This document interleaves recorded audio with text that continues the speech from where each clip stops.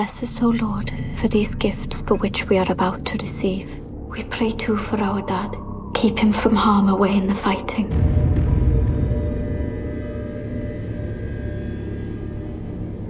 I'm sure it's not easy. Just the three of you. You would never sell the farm. This is our home.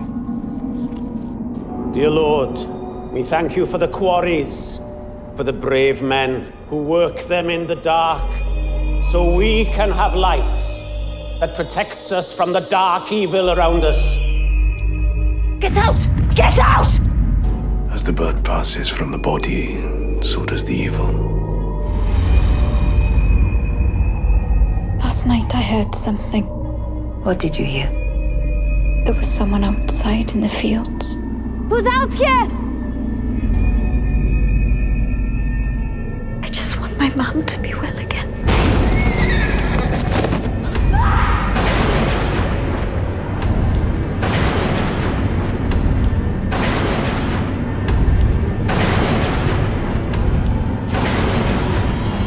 Mom? I never meant to hurt you. I only ever wanted to protect you the door.